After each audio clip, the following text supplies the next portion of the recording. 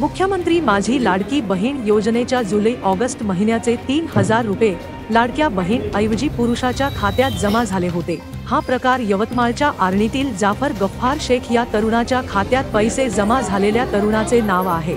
जाफर शेख याने लाडकी बहीण योजनेसाठी कोणताही अर्ज भरला नव्हता. तरीही त्याच्या बँक ऑफ बडोदा या बँक खात्यात या योजनेचे तीन हजार रुपये शासनाने जमा केले होते. या प्रकरणात जिल्हा परिषदेचे मुख्य कार्यकारी अधिकारी मंदार पत्की यांनी आधार कार्डच्या नंबरमुळे असे झाले असावे. आधार कार्ड बारा अंकी नंबर असून यात पैसे जमा करतेवेळी शेवटचे चार अंक दिसून येतात. त्यामुळे आधीच्या एखाद्या नंबरमध्ये घोळ झाला असावा. या कारणाने या तरुणाच्या खात्यात पैसे जमा झाले.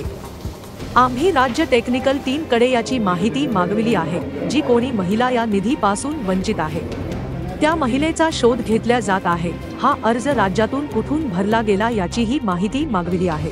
झालेला असू शकते की चार शेवटचे डिजिट बरोबर असतील परंतु पहिल्या आठ डिजिटमधील एक किंवा दोन डिजिट इंटरचेंज झालेले असू शकतात ज्यामुळे आधार नंबर चेंज झाला आणि तो चेंज झालेला आधार नंबर हा फारुख शेख या इस्माचा होता. त्यामुळे आधार सीड त्याचं झालं आणि त्याच्या बँक खात्यावर पैसे गेले.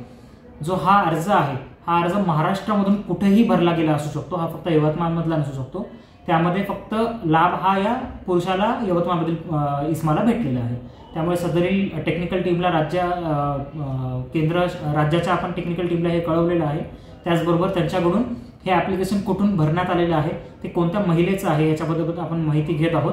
आणि या पात्र लाभार्थी महिलेला तात्काळ त्याचा लाभ वितरित करण्यासाठी शासनाकडून योग्य कारवाई करण्यात येत आहे.